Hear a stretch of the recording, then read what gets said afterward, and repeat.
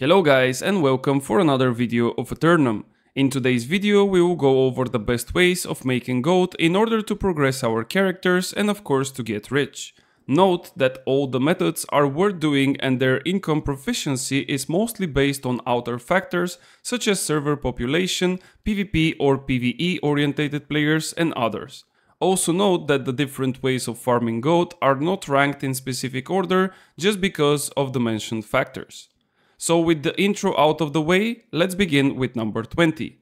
Daily activities. For the casual players who don't have much time, the game offers daily activities in the form of easy gold in rewards. Those are must-do things for each player regardless of the time they play each day. Your first 3 faction quests for the day will reward you 10 times the reward and if you choose to do PvE elite quests, they will net you around 700 to 750 gold. Next on the line are the major corrupted chests or elite field bosses in Elysium Wilds territory, which will reward you 2 bags of coins for a total of 500 gold. And lastly, again from the major corrupted portals, on their highest level in Myrkgard Elite area, you will obtain 3 pouches which contain gold and other rewards. Number 19. Farming Resources. This is probably the most traditional way of making coin by going for a specific item or resource and to sell it raw on the market. However, this way of farm is heavily contested especially in high populated servers.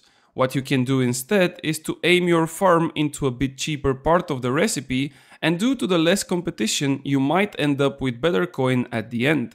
Example could be given with the orichalcum ingots which are needed for numerous crafts. People aim so much onto the orichalcum ore that most of them forget to farm the iron, star metal ore and of course the charcoal which is also needed for producing the orichalcum. Number 18. Gypsum Orbs. Going back to the daily activities we cannot miss to mention the Gypsum Orbs. They can be obtained directly from different side quests, PvP track or getting 5 each day from the faction shop. However, there are numerous ways to obtain the orbs in their different variations of different colors. As you can see, there are quite many of them and all are related to different actions. As the orbs serve in a lot of high-end game recipes, they are frequently getting sold if you have the necessary crafting trade skills such as armoring, weaponsmithing or arcana. Number 17. OPR OPR is the battleground of Aeternum where 40 people get into two teams of 20 players and fight each other until one of them reaches 1000 points. All the matches grant you gold and other rewards and of course the winner takes a better reward. If you and your team are way better than the enemy, you can end the match in about 10 to 15 minutes, which is a pretty good gold income. However, keep in mind that you also spend consumables and this might reduce a little bit the profits. Number 16. PvP track. Speaking of PvP, I cannot pass to mention that there is another form of gold farm for the PvP orientated players. This of course is the PvP track and in it you will be able to find different rewards and with the levels they will become even better and bigger. For example at level 200 currently you can get a pile of coin for around 3500 gold for the full PvP track completion. Keep in mind that the gold is not the only reward as there are many valuable perks which can be sold for a high price on the market. Number 15. Perks. There are a lot of different perks in the game and many are not really useful or expensive. However, for the most and highly desired ones, especially for PvP, sometimes people can pay up to 20,000 gold for each and you can sell them on the market. The way to get some of the perks is either by opening supply chests all across the Aeternum map, farming your PvP track, or just getting lucky by opening aptitude boxes from the crafting professions. Number 14. Aptitude boxes.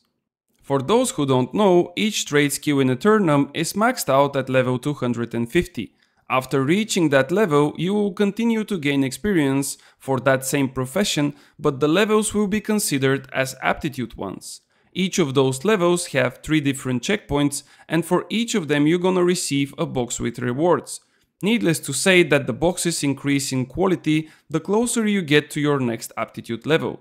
From such boxes you can obtain trade skill specific items which can cost a good amount of coin. For example, if you aim at reaching level 250 in furnishing and then continue crafting cheap crafts for aptitude experience, you can get lucky with loaded dice, which is needed for the major luck trophy and it will net you a good profit. Number 13. Market Manipulation A lot of people use the market on daily basis, but not all of them use it efficiently. If you have good knowledge of what is valuable and you see items on lower than their usual price, you can simply buy and resell it. Same can be done outside of the auction house as many people try to avoid taxes by using the trade channels. Number 12. Buy and sell orders. Same way as the previous point, buy and sell orders can be used to gain a lot of money for common resources. Let's take a quick example with the infused regeneration potions which are used on a daily basis of all active PvP players. You put buy order for 5 gold for each regeneration potion and then sell all the acquired ones at around 8 gold each. Removing the taxes you will get a net profit of around 2.8 gold for each potion. When you multiply that in big quantities, the profit is there and waiting for you. This of course will be combined with other consumables and buffs, and also a good tip is to sell your PvP consumables during the war timers. This is usually the time when most of the players who are participating in wars are buying their consumables. Number 11. Repair kits. A lot of people get this as a joke, but I still see so many people wasting the potential of making easy gold. Repair kits are worth around 5 cents in case you are the one crafting them. However, on the market and especially at the start of the game, you will be able to sell them for at least 20 or even 30 gold per kit. Don't waste your potential and get that free coin. As we've reached the middle of the video, let me know if you like so far the tips for making gold. If you would like to see more content related to Aeternum, you can support me by subscribing to the channel and joining my Discord community server. Now let's get back to the remaining tips of making gold. Number 10. Cooking. Every trade skill in the game can be efficient to bring you money. With cooking, however, this becomes everyday thing.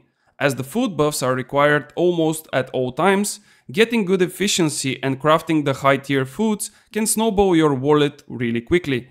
Don't pass on that chance. Number 9. Daily cooldowns. If you already reach the maximum level of your refining skills, but you don't want to waste time gathering all the materials, you can simply sell your cooldowns to someone else. Getting a fee for the craft of Asmodeum and prismatic ingots, for example, is always a good thing, especially if you will not do them yourself. To maximize your profits, try to make sure that Weaver's Fen Fort is under the control of your faction, as this way you will get an additional 10%. Also, make sure that you are equipping the necessary gear, which will also give another 10% chance for gaining extra materials. Speaking of provided service, the next two tips will include exactly that.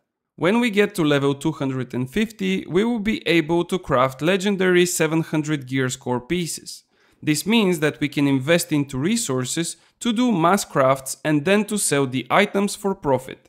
In order to achieve the best return, I suggest you to craft gloves and boots for the armors as they are the cheapest ones to make. Also note that you should aim at 2 perk crafts instead of 1 or 3 perks. More about crafting you will be able to find in my video about it as there I explain how it works and what you need to make it work. The next variation of making gold via crafting is again the service provider. Let's assume that you have everything necessary to craft 700 gear score pieces and that there are many people who would like to use your service. Well, Add a small fee to your work if there is no other competition and try to save up from materials by making sure that Mourningdale Fort is under control of your faction.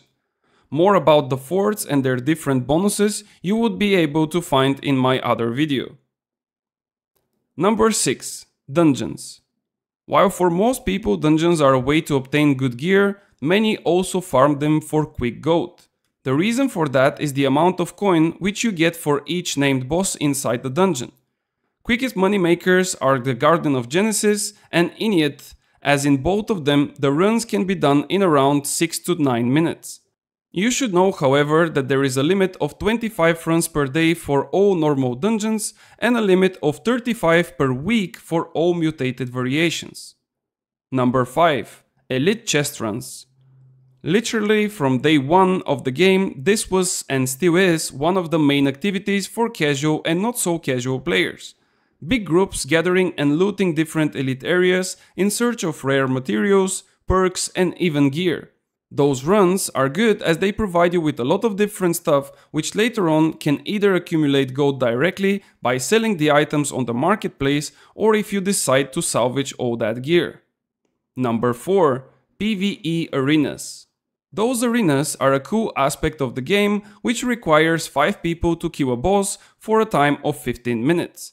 As the gear progression is way higher than it once was, the time given is not a problem at all the orb serving as key for the entry in those arenas can be either farmed or crafted and many of the times people require fee for an entry.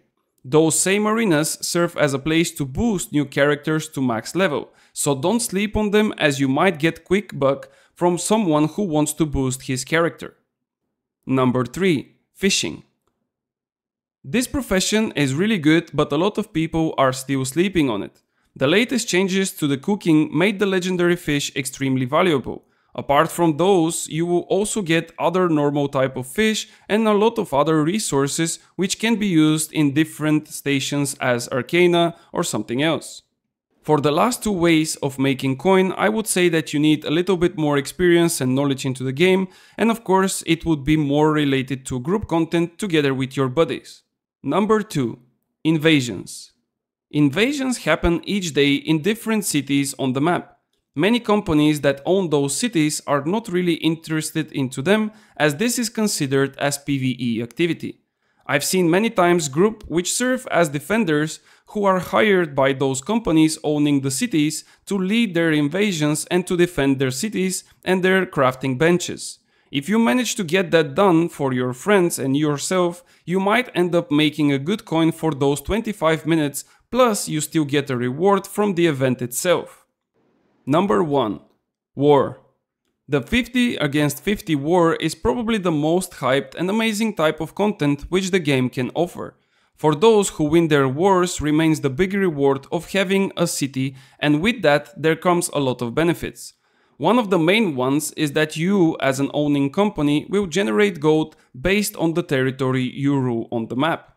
The lowest amount is 5%, while the highest can reach up to 15% from the total taxes in the server, and this is per territory, meaning that if you have more than one territory, you can accumulate a lot of gold. Well, that's it from me guys. I hope you enjoyed all the tips for making gold, and I can only wish you wealth in your journey across the Aeternum. If you want to find out what are my 20 tips for PvE and respectively PvP, make sure to click on the videos you see on your screen. Thank you again for watching and I will see you on the next one.